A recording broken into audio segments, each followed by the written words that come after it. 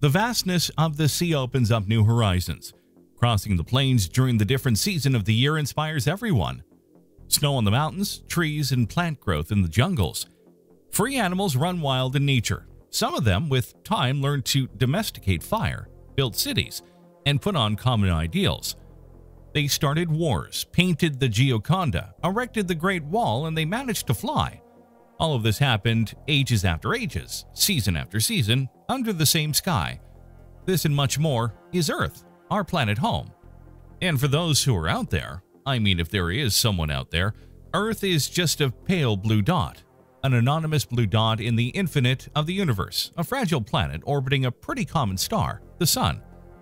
And at the same time, the Sun is a grain of sand in a galaxy that we dubbed Milky Way. In order to find us, those out there have to be very lucky. Maybe one of those out there civilities is thinking about the same things we've just stated. Maybe they are thinking about themselves as a pale blue dot. Maybe their planet is even better than our planet. Maybe there are planets better than Earth. That's exactly what recent studies on the Kepler mission data seem to suggest. But how would these planets look? Which characteristics could it have? Come with me to get to know the answer to these questions and more. Kepler found planets better than Earth.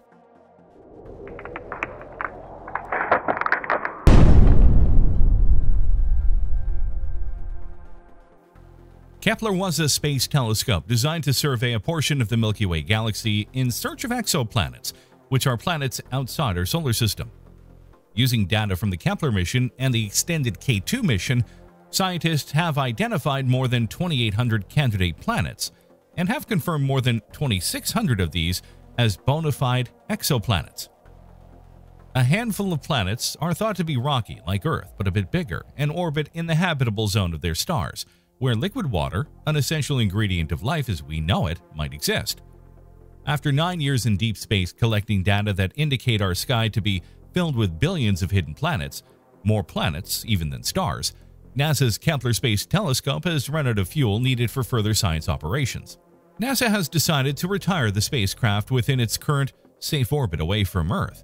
Kepler leaves a legacy of more than 2,600 planet discoveries from outside our solar system, many of which could be promising places for life. They are the so-called Earth-like exoplanets. NASA's Kepler mission revolutionized our scientific understanding of our place in the cosmos by a huge amount of discoveries. Before Kepler, we had little information about exoplanets. For example, how many planets are out there? Which planets are more common? The big gaseous ones is Jupiter, the ring giant planets like Saturn, and what about Venus-like planets? Do they exist just in our solar system? And if so, why? All of these were very interesting questions that needed to be answered. But the universe is always a little bit more creative than we are. Here's what we know after Kepler. Planets outnumber the stars.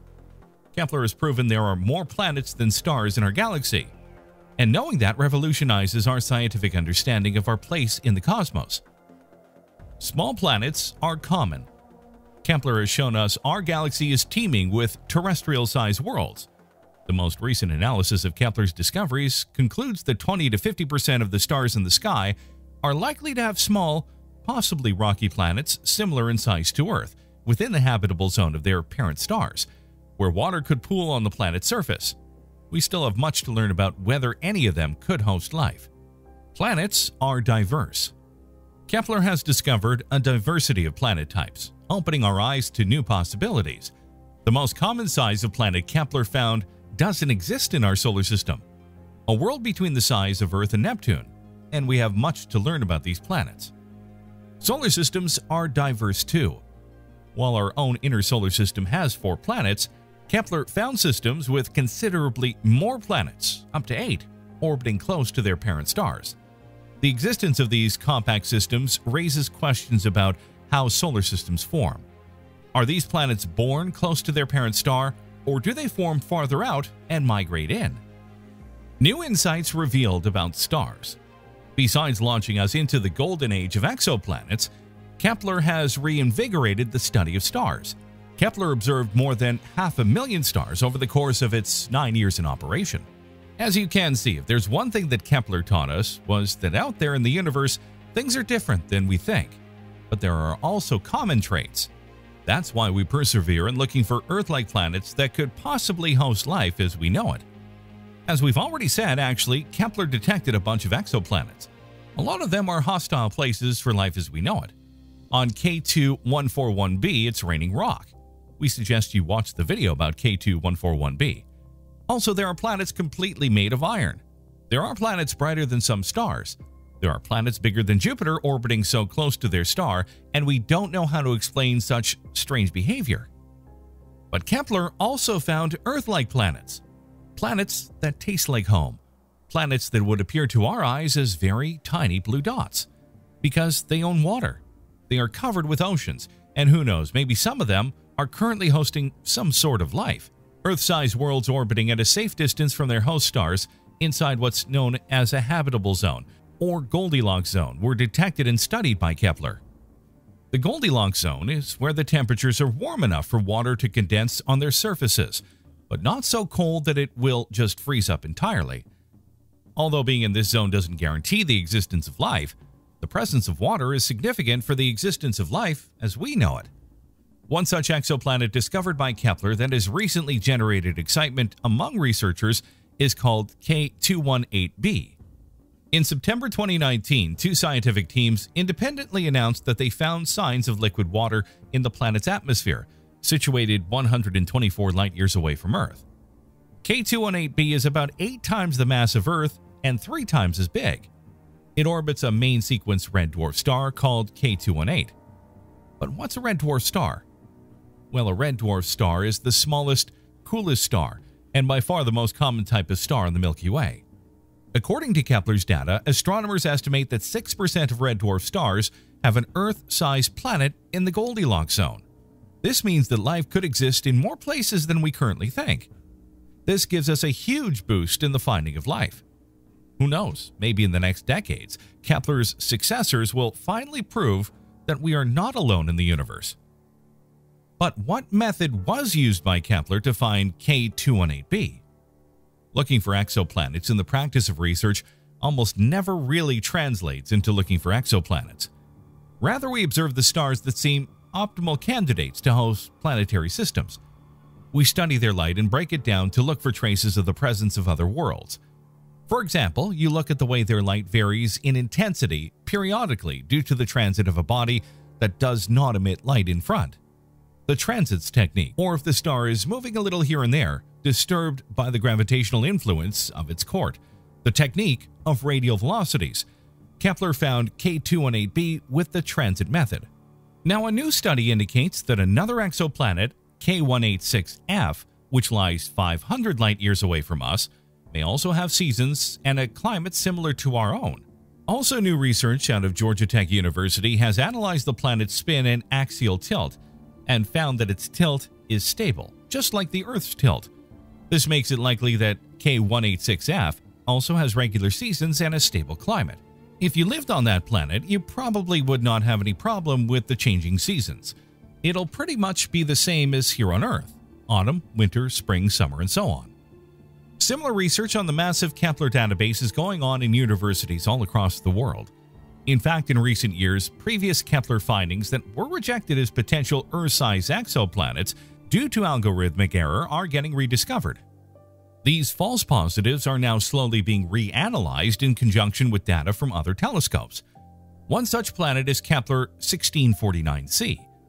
In mid-2020, while combing through old Kepler data and matching it against new data from the Transiting Exoplanet Survey Satellite, also known as TESS, astronomers confirmed the existence of another exoplanet. With very favorable conditions for life, Kepler 1649c is located 300 light-years from Earth. It is very similar to Earth in size and estimated temperature.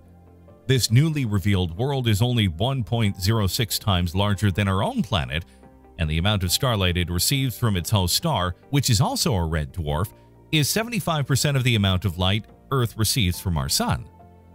This means the exoplanet's temperature may be similar to our planet as well.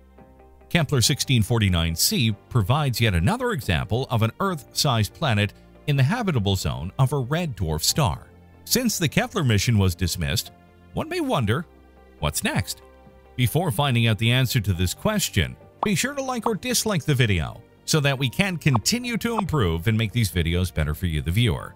Plus, be sure to subscribe to the channel by clicking the bell so that you don't miss any of our weekly videos.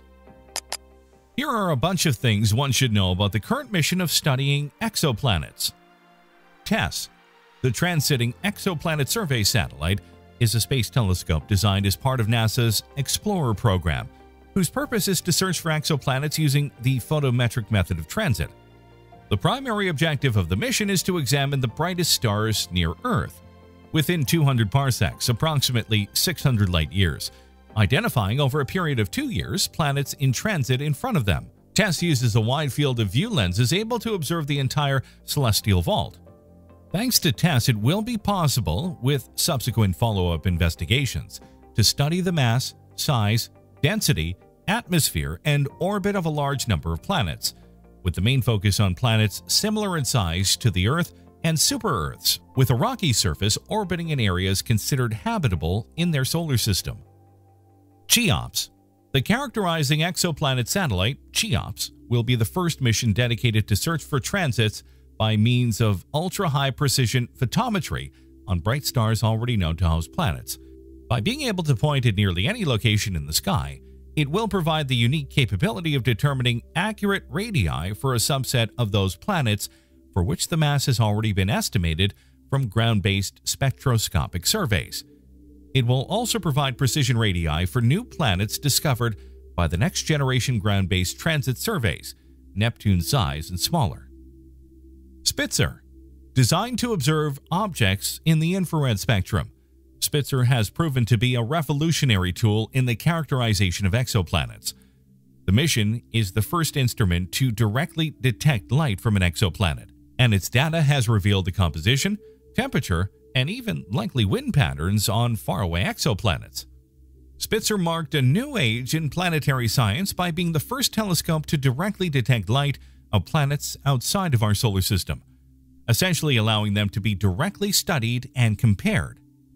The Great Infrared Observatory also made it possible to determine the temperatures, winds, and atmospheric compositions on these distant planets. Prior to Spitzer, all confirmed exoplanets were detected indirectly, mainly by the wobble technique and more recently the transit technique. In the first method, a planet is detected by the gravitational tug it exerts on its parent star, which makes the star wobble. In the second, a planet's presence is inferred when it passes in front of its star, causing the star to dim or blink. Both strategies use visible light telescopes and indirectly reveal the mass and size of planets respectively. Spitzer used the transit technique extensively. That's all for this video. Thanks for watching everyone. Did you like it? What do you think about the Kepler mission and the finding of life as we know it? Let us know in the comment section below. Free your imagination. See you next time on the channel.